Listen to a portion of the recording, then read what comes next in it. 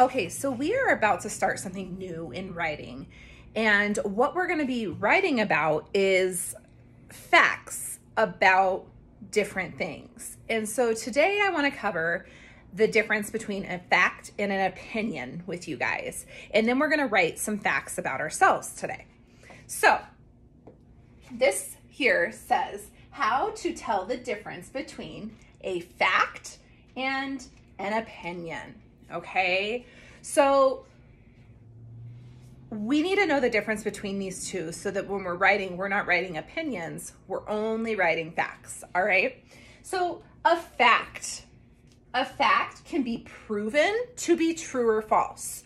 So when you are giving a fact about something, you have it has to be able to be proven if it is true or false. Okay. Um, an example is this little guy here saying cars have four wheels. A car has four wheels. That can be proven as true. Um, just some clues to tell you it's a fact is a lot of times there's dates, there's numbers, there's science behind it, there's documents, and there's photographs. A fact is a piece of information that cannot be changed, okay? So when we're talking about facts, it's something that can't be changed. An opinion is what someone thinks, feels, or believes. So this girl here is saying red cars are pretty. Maybe not everyone else thinks that red cars are pretty, but she does. So that is her opinion. It is also something that cannot be proven. So it's not a fact, it's an opinion. So some clues about opinions are it's what people believe, what people think, what people feel. A lot of times it's like best or worst and good or bad. Okay.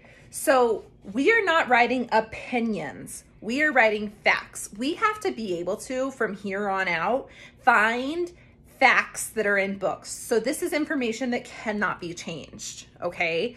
We're going to, after this week, be able to find facts in books. This week, though, we're going to just start by writing facts about ourselves.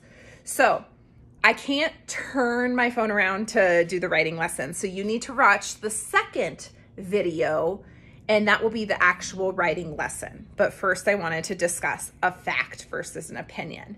And I want to reiterate that we are only doing facts this week, okay? Information that cannot be changed. And we're doing it about ourselves. So watch the next video to figure out what facts you're writing about yourself today.